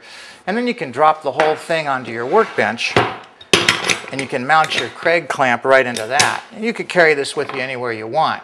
Or now be careful with this one. You can mount a Kreg clamp right into your Festool MFT table. Just don't let Festool find out you did it. I mounted mine right here in this position because it doesn't interfere with the angle guide or anything with the MFT table. But you have to be careful because the plate could interfere with the table. These single position plates and clamps aren't nearly as fast as an assembly table, you know, a full-size assembly table that you'd want to use for a big frame. Because with a big frame, you really need to move around quickly. But let me show you how this works. You just slide the Kreg clamp into the, into the plate. You take your two pieces. Let me grab one of these stiles. and you just butt the pieces together and slide. You want to put a little glue into this joint too. I'll talk more about that in a minute. And take your clamp and just tighten it up on there. And I could put a little bit more pressure on there. And you want to put the clamp right on top of the pocket hole screw itself. And I'm going to flush up this back edge here and hold it with my thumb. And I'll grab a screw gun here and a couple of pocket screws and we'll run one of them in right here. That's it. You can see it tighten it up just as we got up to the shoulder of the hole. And I'll move this and clamp down in the second position and we'll put another pocket hole screw right into this hole. And that's it. That's all you have to do. This is a perfectly flush joint. I mean, I'd say 95% of the time, all they need is like 220 sandpaper. Every now and then you get one that isn't just quite right. You can always loosen the screws and check it real quick and get it flush on a second try. Because I don't use this Kreg clamp for everything. Like I said, when I'm doing big tables and stuff, big, sorry, big wainscoting, big panels, I use an assembly table. I made my first assembly table after watching an early video that Kreg Tool Company made. The table looked something like this. It was just a sheet of plywood with 1x4 uprights, pocket screwed every 16 inches or so. On job sites, we use assembly tables like this one made from full 8-foot sheets of plywood so we can assemble large frames. In a shop, though, something that size is just too awkward to store. You can also make another type of assembly table, one that's more portable. Marco Fee, a frequent contributor to the JLC Live Finished Carpentry Forum, designed and built this setup with hollow box beams. He cut a piece of plywood that inserts into the middle of the table where he mounted a Kreg clamp. All of the box beams nest inside of each other so it's easy to transport and store the table. A few years ago, I started using a table made by EZSmart. I liked the table because the uprights were adjustable, they slid in and out on plastic guides, and the uprights on each end swiveled too, so that the 24 by 48 inch footprint of the table could expand to support a full sheet of plywood. I also liked the table because the uprights could be moved out of the way easily or brought to bear right under the area I was working on. But the plastic guides, didn't last long on a job site. My guys snapped those things and broke them really fast. If you're careful with the EZSmart system, it's not bad, though the uprights do sag a little bit when they're fully extended. Those sagging uprights really got to me. I wanted an expandable table, one that was lightweight, took up very little room when stored, but had a durable sliding upright system. I got together with Greg Burnett, another JLC, JLC contributor, and we designed this table. We used Kreg Tools aluminum track, their mini track and their miter track, and we screwed the mini track to a 24 inch, in this case it's about oh, 50 inch long piece of plywood. The six inside tracks, two, four, and six, slide directly out of the table in this direction. And there's stops on them, so you can run them all the way out without having to worry about running them off the track. But the four outer uprights, these two and these two, I only fastened those in the very center because I wanted those to swivel. I wanted them to pivot right in the middle. That way, I can take this one and swing it all the way out and tighten that down. And between the two of them, once I swivel this one out too, I can pick up enough swing here to support a good eight foot sheet. You'll see me using this throughout the rest of the program for assembling these frames. The uprights are made from 2-inch stock. And then I cut a notch in them right in here so I could install a star knob and a quarter-inch T-bolt, which locks the upright down into the mini track. A piece of miter track screwed to the bottom of all of these, all of these uprights is what guides the upright on the mini track. You can tighten the screws that, that secure the miter track to the bottom of the upright, and when you do, you'll get an even tighter fit on the T-track. We topped off each upright with a sacrificial piece of one by one, secured with a domino tenon at each end, and I'll show you how to do that a little later, so that it's real easy to remove each piece. I put one screw in the top and countersunk it really deep, just in case I've cut through here with my saw. I don't want to run into that drywall screw. This table is great for ripping sheet goods, which I'll show you once we get out of these frames and we're cutting panels. The table also works really well for doing glue-ups, for making wide, solid panels, which I'll show you later when we want to make some solid panels for making raised panels. And of course, all this hardware, the T-track, the, the mini-track, the knobs, not to mention the wood, it isn't cheap to make one of these. But it's a dream for assembling frames. You're going to see what I mean when I start using it. Of course, there's one other method you can use for assembling frames, but it's not very portable and it's definitely not job site friendly. Kreg Tool Company makes a face frame and pneumatic table, which is the way to go if you're working in a cabinet shop making frames all the time. Whatever assembly table you have, make sure you clamp it securely to your work table or you're going to have a big problem on your hands. You don't want that frame slipping off along with the assembly table right in the middle of attaching it. There we go. Now I can extend out all of these arms in all directions and get ready to support my face frame. So we want to position this just the way we did when we laid it out. And what we did was we made the this is the top, so the right end is the right end and the left end is the left end. So this corner is the one that gets the four inch stiles. Using pocket screws is really pretty simple. Just be sure you've got the right screws. And I've read articles where carpenters say it isn't necessary to glue pocket hole joints. I kind of feel another layer of security doesn't hurt. And only takes a second or two to spread some glue. We'll get to that in just a second. Let me get some more stiles up here.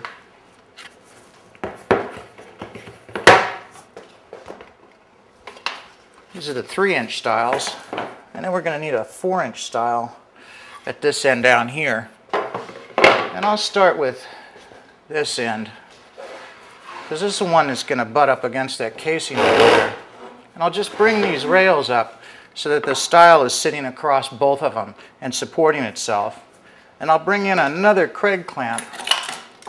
This is the clamp I use when I'm assembling on a an assembly table, I can take this clamp and it has a really wide jaw on the bottom. You can see how wide and large this washer head is on the bottom and a smaller one on the top. You want to have the big wide one on the bottom face of the material so you get more pressure on the face and you'll get a more flush joint because you'll be distributing the pressure of the clamp more evenly.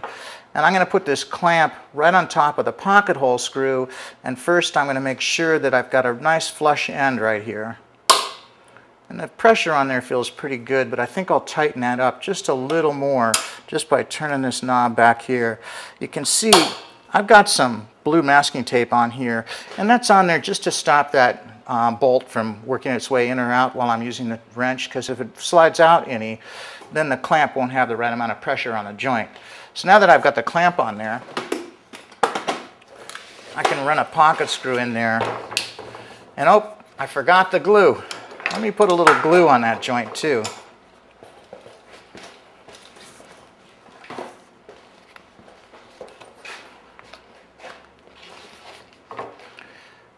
This is a glue bottle called a GlueBot from FastCap. There's another product FastCap makes, and this one I really like too. It's kind of cute. It has a vacuum chamber right here at the very front of the glue bottle. So when you apply the glue, you squeeze, squeeze the glue chamber in the back and the vacuum chamber pushes the glue up through the spout like this. You can see it comes right up out of there, even if the bottle's vertical like this. And the cool thing is, when the glue comes up like this, when you let go, it draws the remainder of the glue right back down inside of the spout. So the tip never clogs, at least very rarely. So I've got a little bit of glue on here. I'll spread some across this joint. You want to glue up all these joints because it's just a good habit to develop.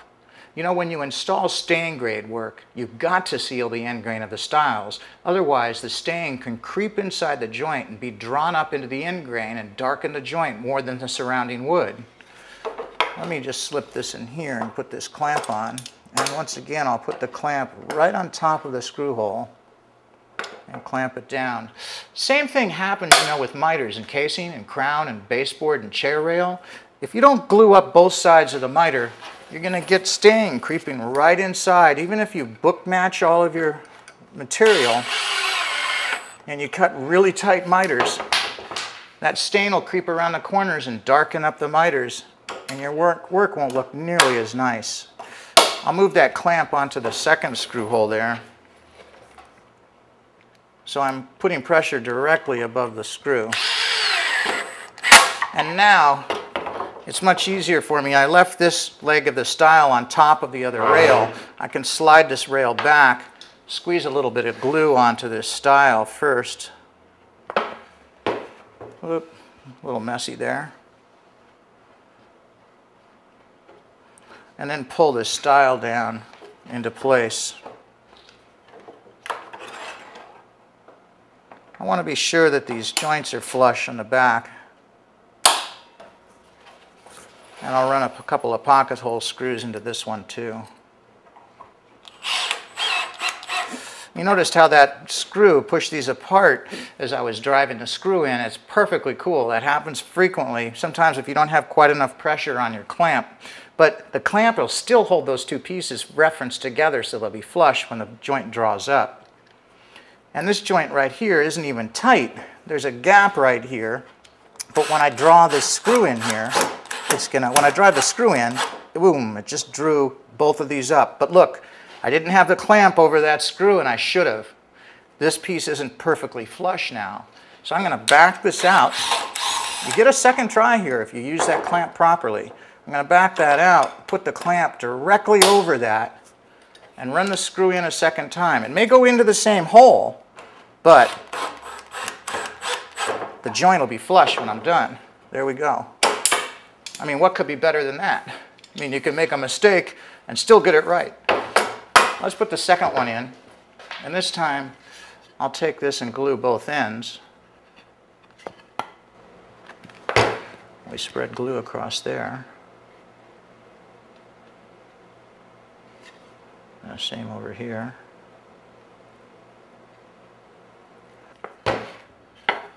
We've got one end that goes into here and one into this side. Now I'm going to push this over a little so this stile will end up sitting on the upright just a little bit and it'll support it. So it's on this on this outrigger upright right here. And on this end, I don't need the upright. Now watch this. This is where the assembly table really comes in handy.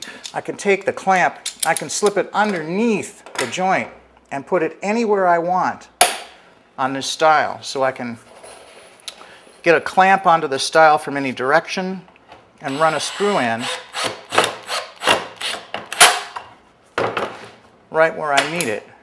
It looks like that first one is a little bit crooked, so I'm going to run that one in again. First I'll put this joint, this screw in. You can hear the clutch engage on this driver too. You want to use a pretty sensitive drill motor when you're doing this. I used to use an impact driver. There we go. I used to use an impact driver, but it just doesn't have enough sensitivity and you can strip the screws really easily with an impact driver. You want to have a screw gun that has a lot of sensitivity, a lot of torque, but a lot of sensitivity and a really good, a really good um, clutch on it so it'll cut off before you put too much torque on the joint. Now I can reach over from this direction and make sure I put that big end of this clamp underneath the material and I'll run a screw in right underneath that clamp and I'm right on the line, so we're, I haven't made that mistake where I put the stile on the wrong side of the line yet. It's pretty hard to do when you have these great big X's. So that is the second stile. Now I'm ready to move off to the end. I want to do the end before I fill in the rest of these field stiles. Remember, this is a four inch stile on this corner. It's got to be four inches across because it's an inside corner. And we're going to take this stile and we're going to rip it down here. We're going to scribe this stile all the way down, all the way across the rails to fit into the inside corner. So if we're going to do that, I don't want to put this screw in. If I put this screw in and I have to scribe this piece off, I could run into the screw with my saw, and I don't want to do that. So I'm going to leave these two end screws out. I'd like to reinforce this joint with something else. And what I'm going to do is I'm going to reinforce it with a domino. This tool uses five different sizes of tenons. They're actually called dominoes. A 10 by 50 and an 8 by 50, they're the same length but different thicknesses. And then an 8 by 40 and a 6 by 40, which are also the same length but different thicknesses. And then the 5 by 30, which is the smallest domino, and that's the one I use most often in miters and wainscoting and for most of the work I do. Adjusting the domino for different tenon sizes is easy. This green switch at the top of the tool changes the width of the mortise for the five different domino sizes. The width of the mortise and the height of the mortise is also controlled by the size of the cutter or bit. The Domino accessory bit kit includes five cutters. Changing bits is a snap thanks to some really fine engineering. All you need to change a bit is the small wrench provided with the Domino. Use the wrench to release the locking tab, then slide the motor off the body of the tool. All you do is you take this wrench and insert it underneath this switch here, and then pry the switch up. Now listen, See, the switch releases the motor off the shafts here, and then you just slide the motor right off the tool, just like so. To switch bits, use the small wrench to back the bit off the threaded spindle, then thread the new bit on. The bit on the domino doesn't just rotate like a router bit, it oscillates too. That's why the domino cuts straight-shouldered mortises. The depth of the cut is controlled by this switch at the rear of the tool. To adjust the mortise for different length dominoes, first release the black locking lever, then lower the green switch. Like a biscuit joiner, you also have to adjust the fence on the domino. But unlike most biscuit joiners, this tool has preset fence adjustments for different material thickness. Trust me, once you start using the tool, all the metric measurements will begin to make sense, maybe for the first time in your life. Also, like a biscuit joiner, the fence adjusts so you can make angled mortises for beveled or mitered joinery, among other things. Now another really nice engineering marvel with this tool is these shafts that the motor rides on are different lengths. This longer one is the first one you engage when you're replacing the motor, so it's really easy to find it. Just wiggle it onto that shaft and it'll almost engage the shorter shaft by itself. Once you get the tool up to the proper point, listen to this. It just snaps into place and locks back on to the carriage. So it's a really simple tool to change a bit on. And these retractable pins at the base right here are another engineering coup. You can use these pins to index the mortise locations without layout marks or lines of any kind, which is what I'll do here. I have the fence adjusted for 3 quarter inch stock, so I'm going to take this index pin here and ride it right against the outside edge of this rail.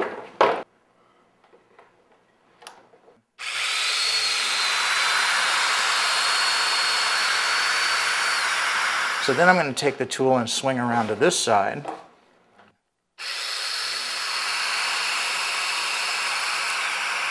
See the tenon is going to fit inside of here perfectly. Having all the pieces laid out exactly as they're installed helps too. Otherwise, you can get really confused about which edge to index off of. So right now we're going to put it here and I'll index right off of this edge and I'll clamp this piece down.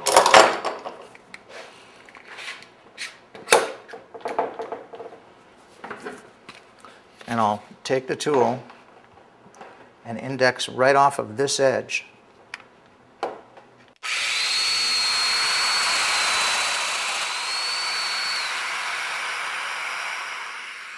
Now I want to index off of this edge. So I'll put this back here, clamp it down.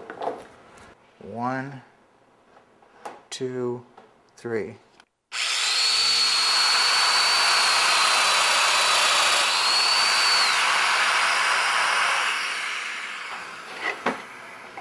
Swing this around. This end goes here.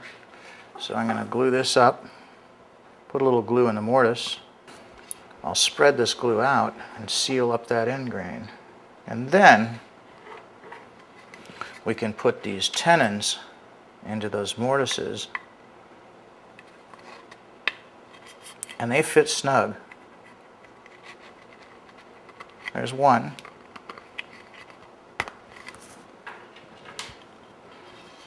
and here's the other. Perfect. So now I'm going to take the tenon and insert it into the mortises like so. And I'll put this one in too. And I can spread this apart just enough to get that tenon in there. There we go. We're ready to put the screws in to the pocket holes. So I'm going to put my clamp on right on top of that pocket hole and I'm ready to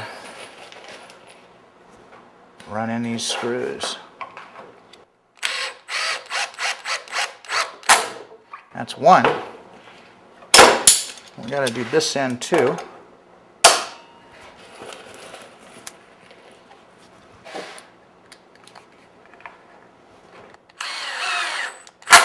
There we go.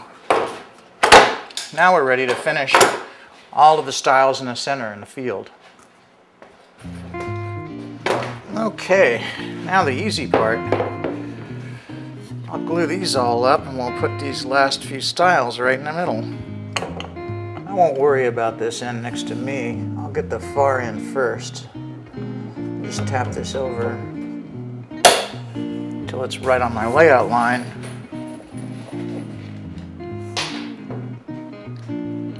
Screw into that one. Really, you know, if you're running a crew, this isn't something you ought to be doing. Try and set your guys up so that they can accomplish a lot of really productive work during the day and protect them as much as possible from making major mistakes. It'll make them feel a lot better and you too.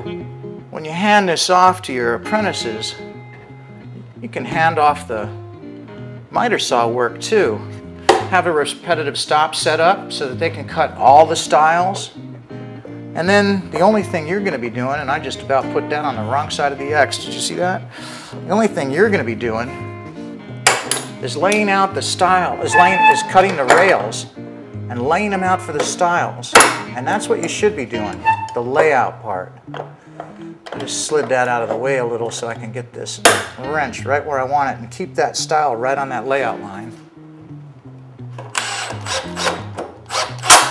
There we go. So that frame's finished. And now we can do the next one. I'll just take this and set it against the wall here. And let this one sit while we put together this next one.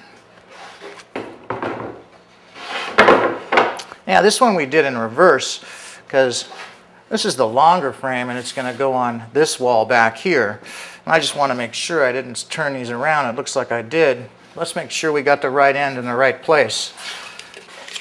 Here's the 4-inch stile, and this is definitely the longer frame.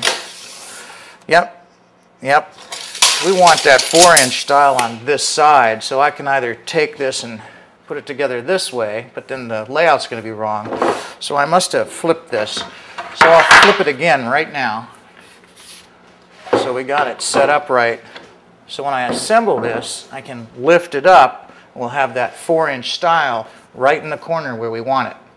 So let's pick up a couple of stiles for the far end. And we'll do this frame exactly the same way. We'll start down on this end, we'll put two stiles in, and then we'll come back and use the domino on that far four inch stile to get it secured in the corner.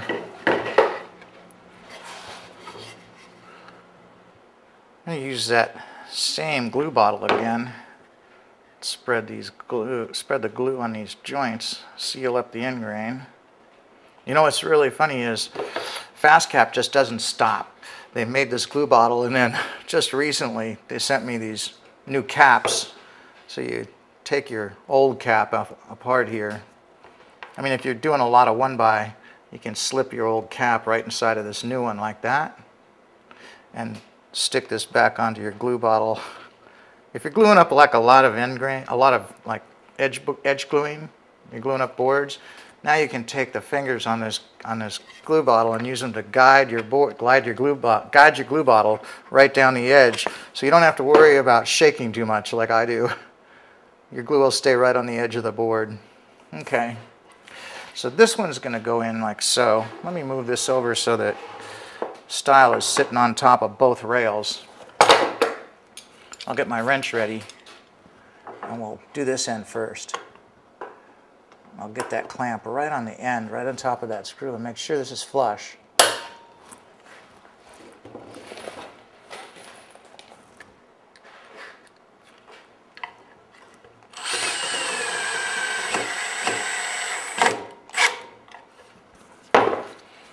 We'll move this over, get that second one.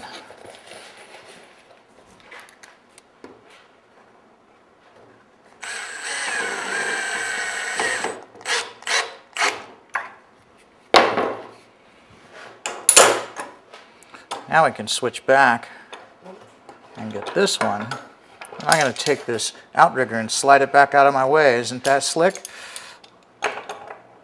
That easy to do. That joint is not tight. You can see it's got a big gap on the side.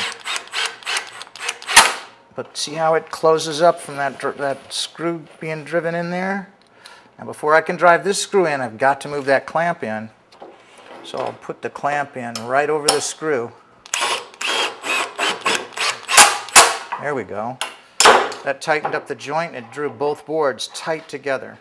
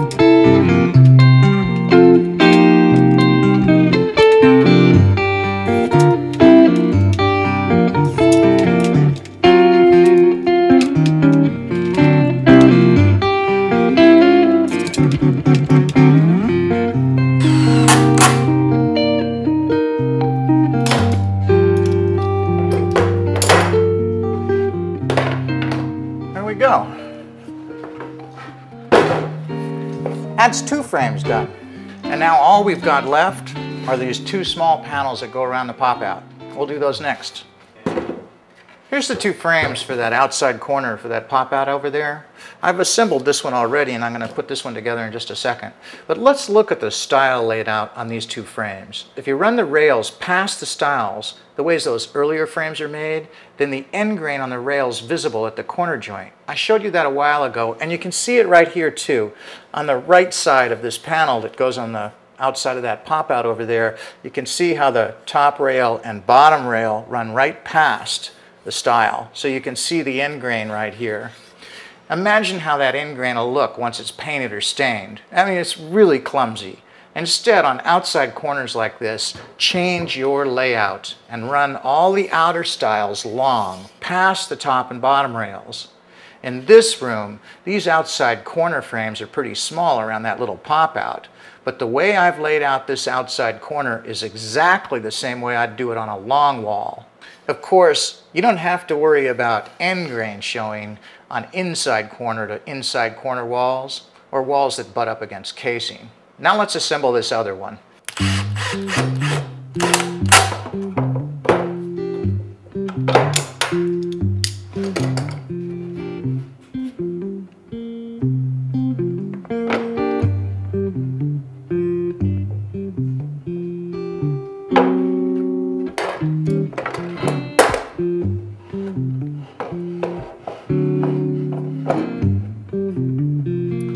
How handy this assembly table is. You can slide these pieces around until you have good support. And another thing, if these corners don't get perfectly flush, you don't have to bang on them much. You can use your wrench and twist your wrench, wrench one way or the other, and it'll slide the panels, the frames pieces back and forth past each other until you get them perfectly flush right where you want them.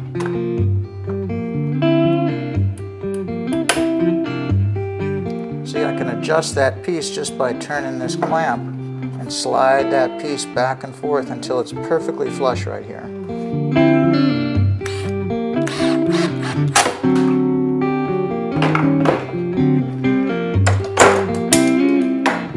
And that is the last panel. And now we're ready to cut these frames to fit.